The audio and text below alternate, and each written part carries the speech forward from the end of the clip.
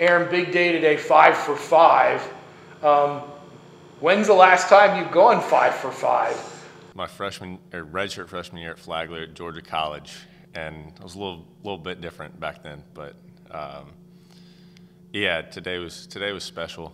Um, just I think our intensity and our focus here the last three weeks as a team has been really, really good. Getting Kennesaw when they came down, and then obviously going to Georgia, taking that series, and then we knew what this weekend was. I mean, this was this was our season this weekend. So, just the intensity and the focus on uh, with everybody from from the starters to the to the relievers coming out of the bullpen, and then of course you know all up and down the lineup. It's it's been really really good. You touched on it a little bit. Coach Jackson and I talk about it a lot.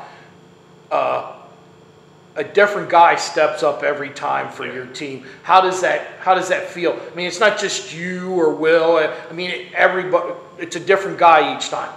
Yeah, it's awesome. Um, this is definitely probably the deepest lineup I've ever been a part of because there's nine guys that can hurt you on any given night. Like you know, the last time Bellarmine was in here on Sunday, they made it interesting, and Logan hit two bombs and won the game for us. Jay had a huge at bat today. You know, moving that ball, getting that infield single getting us getting us that tying run. And I mean, that's the thing.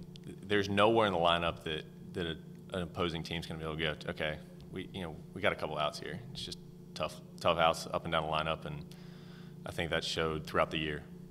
What was it like working behind Dylan today? It, my day was easy. I mean, after that first inning, um, I mean, shoot, it didn't.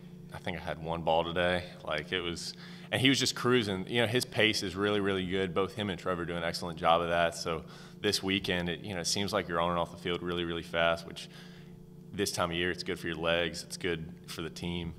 Um, yeah, I mean, he he was phenomenal tonight. Last question for you, Coach and I were talking about each little thing is a step. Mm-hmm. You know, get finishing first in the division, getting the one seed now, you know, just getting through the quarterfinals. Bellarmine, even though you know we went seven and one against them, they played you tough each time. They're a scrappy bunch. Just what is it? What is it like just to get over that little hurdle, knowing that now you can go towards your next uh, goal? I mean, it's it's huge. Um, Coach talks about a lot. Like you got to be where your feet are, and we can't start thinking about Jacksonville or possibly the, a regional or anything anything beyond today. And I think we've done a great job of that here in the last few weeks. And, you know, this would this is a trap weekend. You know, yeah, we, we've had a good record against Bellarmine so far this year, but they've played us really tough. Like they've played us as tough as anybody has in the conference the whole year. So it was a tough weekend, but it's it's like what I was talking about before with the focus and intensity. We were where our feet were today. We were ready to go. We we knew what was at stake, and we got the job done.